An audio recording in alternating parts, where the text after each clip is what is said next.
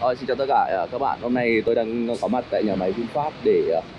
chứng kiến cái lễ ra mắt của chiếc xe máy điện Evo 200